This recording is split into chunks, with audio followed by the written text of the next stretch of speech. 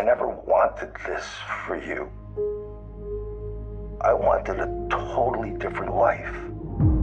A steady paycheck, kids, a family.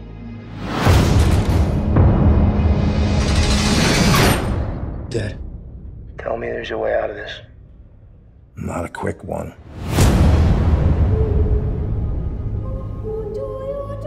We would like you to transfer to another prison and befriend someone to elicit a confession.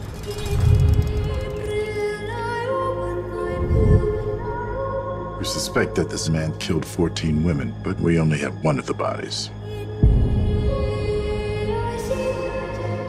Larry has vivid dreams. Tell me about him. In my dreams, I kill women. But they're just dreams. In this prison, where the guys? Maximum security specializing in the criminally insane.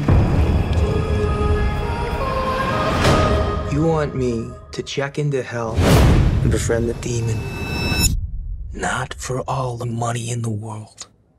How about freedom? Hall's conviction's on appeal. He could win and walk. You had the chance to stop him. Don't approach him too early, or he'll know we sent you for him. Why are you looking at me like that? Like you know me. If it gets out that you're here to snitch, That's going to be a very unfortunate day. Accelerate your timetable. If he walks, he'll kill. Again and again.